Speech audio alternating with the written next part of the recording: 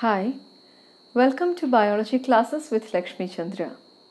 As promised, in this session, I'll take you towards the gene regulation that is lac operon and how it is getting switched on and switched off. Let's have a quick recap about the structure of lac operon first. You know, lac operon, as any other operon, it is having three structural genes here. They are the Z gene, the Y gene, and the A gene, which produces their respective mRNA and then the enzymes. And these genes, their expression is regulated by an operator, a promoter, and a regulatory gene, which is denoted as I gene. I gene. Now here we should know about this I gene because that is the gene which is doing regulation. The I gene.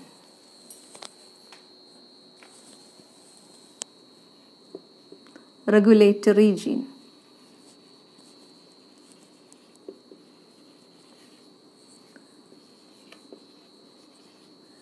In any operon, this I gene can act as either as an inhibitor or it can act as an inducer. That means the I gene can either produce some components which can switch off the gene that is acting as an inhibitor or it can produce something so that it is switching on the gene that is it is acting like an inducer. In the case of lac-operon, this I gene is acting as an inhibitor. That means it is producing something because of which the expression of the gene is getting switched off. Now what is that thing that it is producing? It is producing a, a repressor protein. In the case of lac-operon, this I gene, it produces a repressor protein. A repressor protein. So let me just mark it here. This I gene, it will it is producing first a repressor mRNA. You know, from mRNA only proteins are getting produced. It is producing a repressor mRNA and from this repressor mRNA a repressor protein is getting produced. A repressor protein is getting produced. Now I told you here it is acting as an inhibitor. Now why, what does this repressor protein do? This repressor protein it goes and binds to the operator region. Okay. Now this is a repressor protein and this repressor protein goes and binds to operator. This is repressor. This is repressor protein, this is repressor mRNA. This goes and binds to operator. Repressor protein is having a high affinity towards operator. Now then what happens?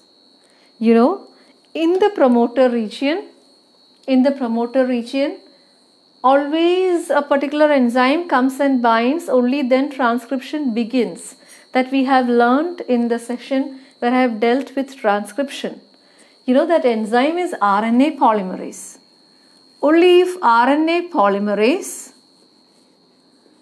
RNA polymerase binds to promoter and then it moves forward towards these structural genes, only then these structural genes can produce their mRNAs.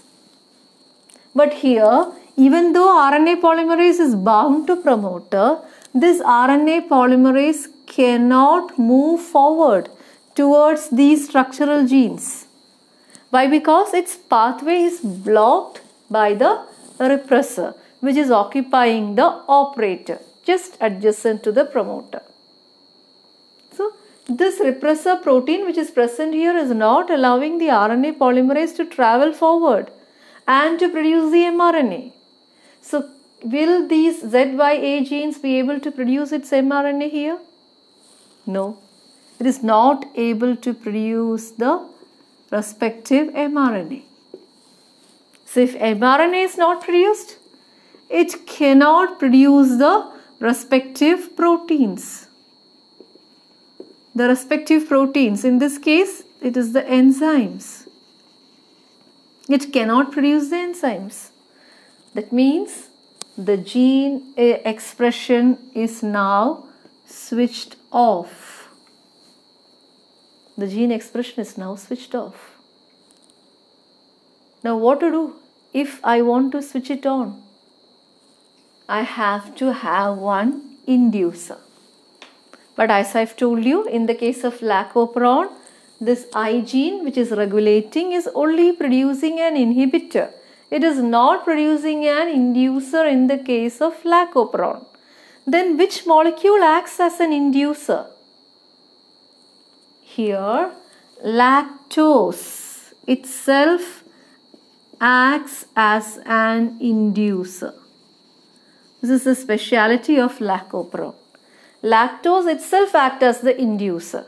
In the case of lacoperon, as I've told you before, in the case of lacoperon, lactose is getting converted to glucose and galactose.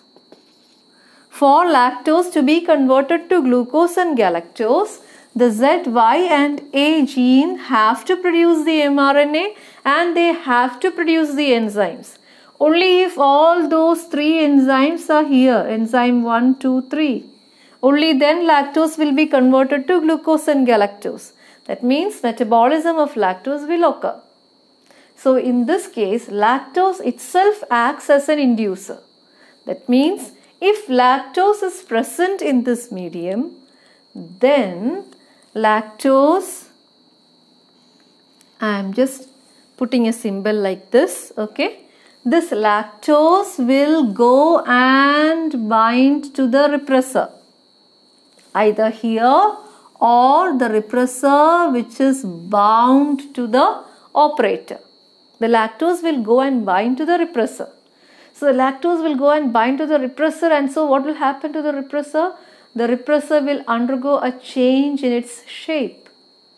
Or I can say the repressor undergoes a conformational change. And when lactose is bound to the repressor and the repressor is undergoing a change in its shape, the repressor can no more occupy the operator region and so the operator region is free. Now what happens? You have this repressor coming out because to that lactose is bound. And so what happens? This region is now free. Here there is no repressor, nothing.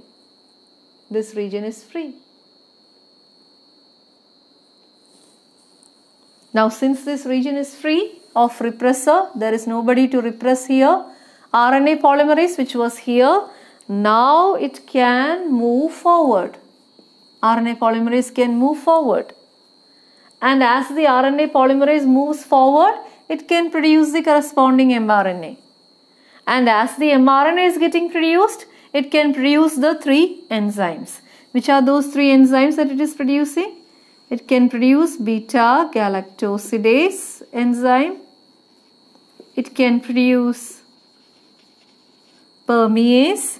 It can also produce transacetylase. These are the three enzymes which are produced. So now you can see the gene is getting switched on. So once again, let me just uh, draw in adjacent sites that the gene is getting switched on and getting switched off so that you will understand it very well. Always remember in the case of lacoperon, lactose itself acts as an inducer. So in the first case, if lactose is the only carbon source, lactose is the only carbon source. That means glucose, galactose, nothing else is there. To the bacteria I am giving only lactose. So the bacteria has to take in lactose and break it down. Otherwise it will not get energy. So if lactose is the only carbon source, in that case what happens?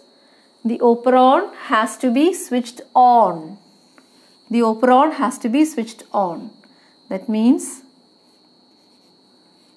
ZYA genes have to produce their mRNA. So the operator should be free. The promoter should be should have the promoter should have the RNA polymerase bound here. So RNA polymerase is here. Operator region is free. So RNA polymerase can move forward. It is producing the corresponding mRNA and this mRNA is producing all the three enzymes.